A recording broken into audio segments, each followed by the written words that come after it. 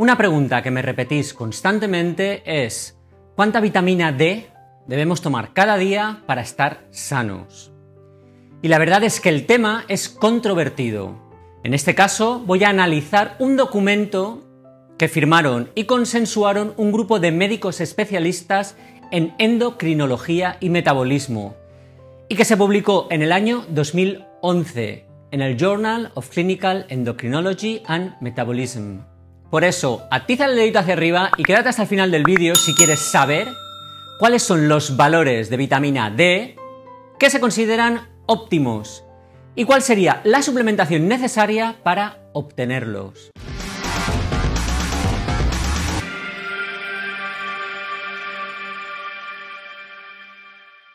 Hola, soy Sento, ¿qué tal va la semana? Bien supongo.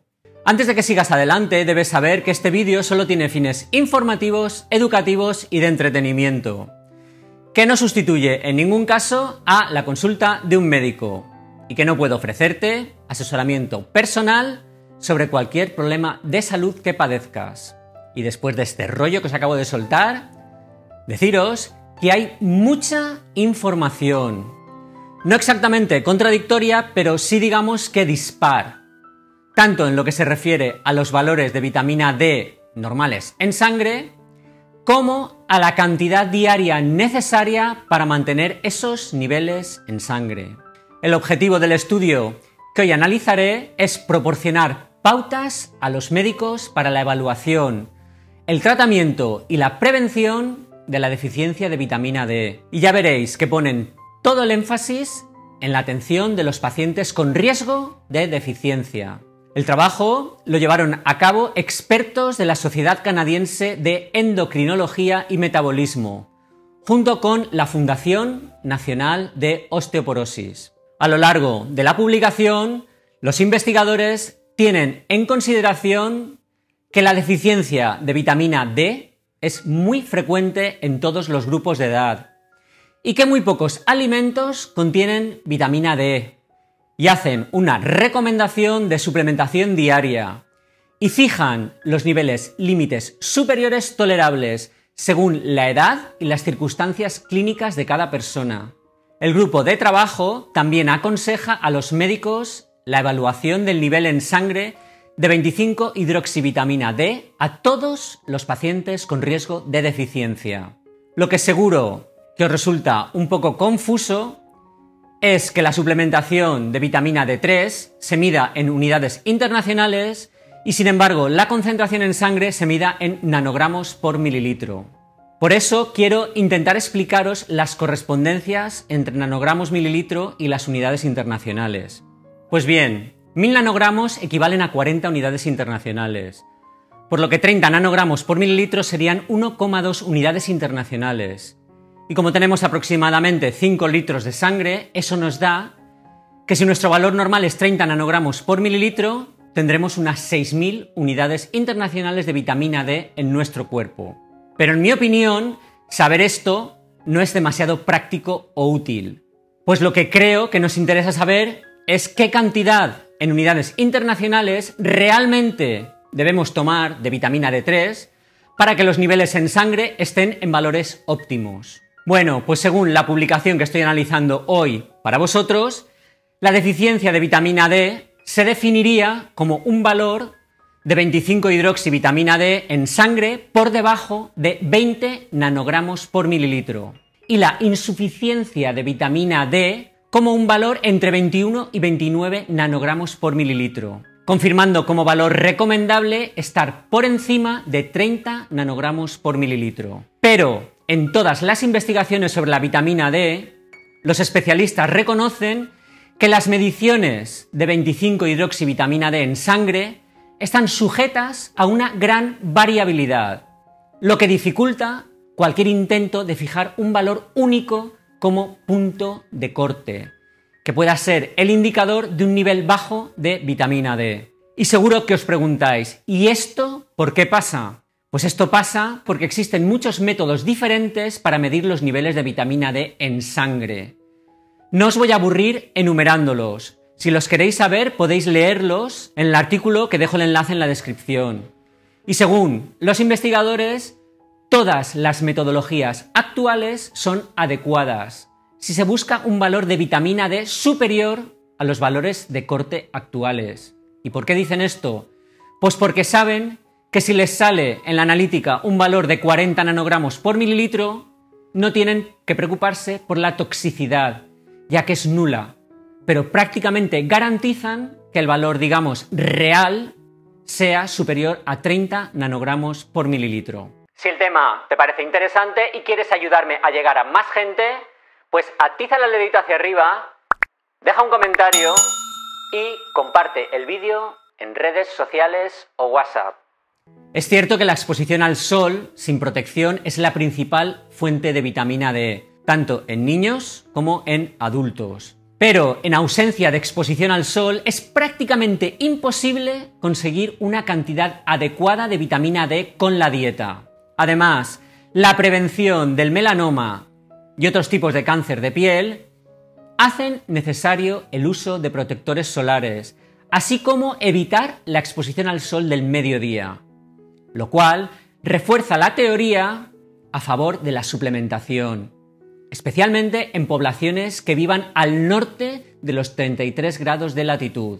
El nivel mínimo de vitamina D en sangre para prevenir la aparición de raquitismo en niños y ostemalacia en adultos, debe estar por encima de 20 nanogramos por mililitro. Sin embargo, para maximizar el efecto de la vitamina D sobre el metabolismo del calcio, los huesos y los músculos, el nivel en sangre de la 25-hidroxivitamina D debe estar por encima de los 30 nanogramos por mililitro. Además, muchos estudios epidemiológicos sugieren que un nivel en sangre de vitamina D por encima de los 30 nanogramos por mililitro puede tener beneficios extra para la salud al reducir el riesgo de padecer cáncer, enfermedades autoinmunes, diabetes tipo 2, enfermedades cardiovasculares o infecciones por bacterias o virus.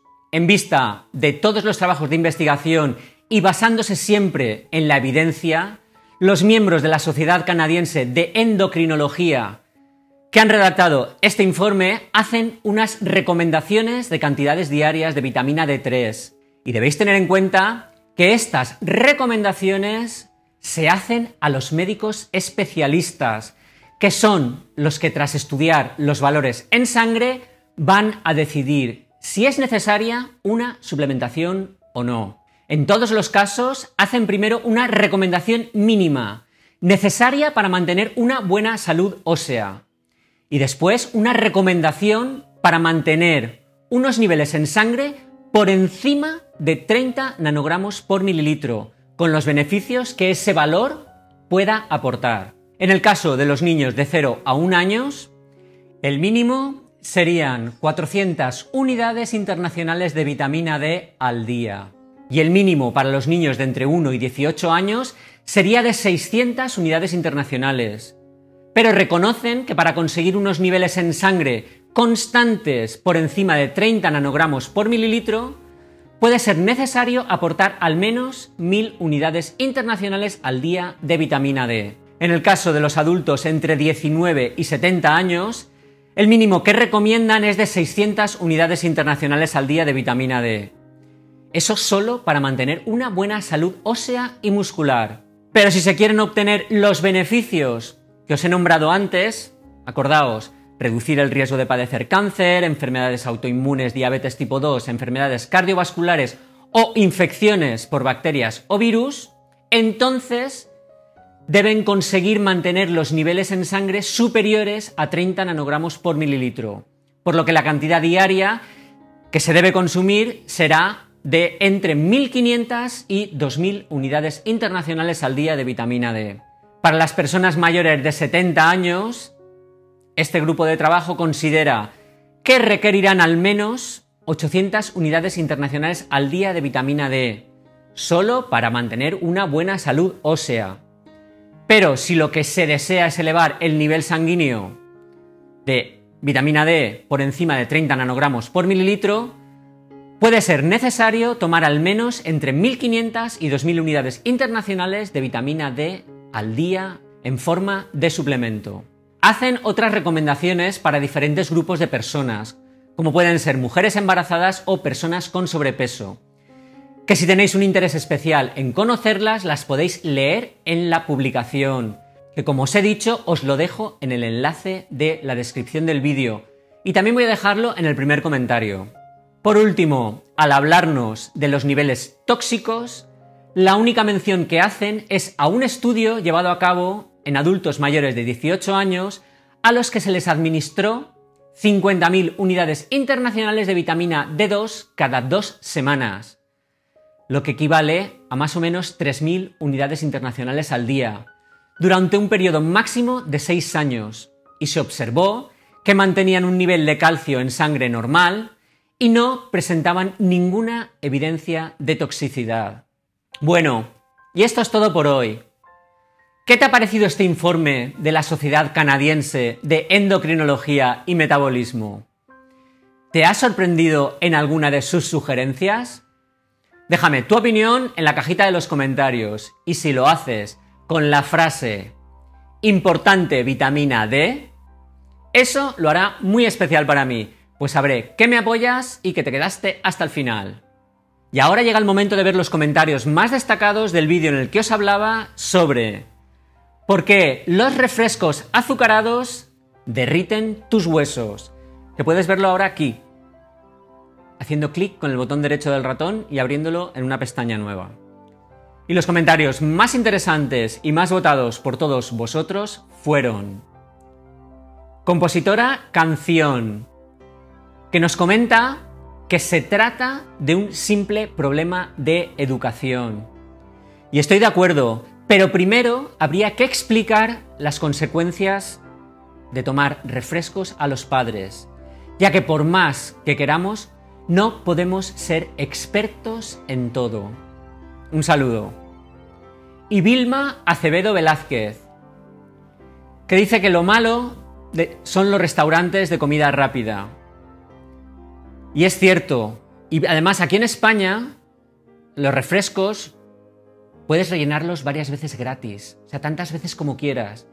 Lo que puede hacer que tripliques el consumo en cualquier comida de estos refrescos.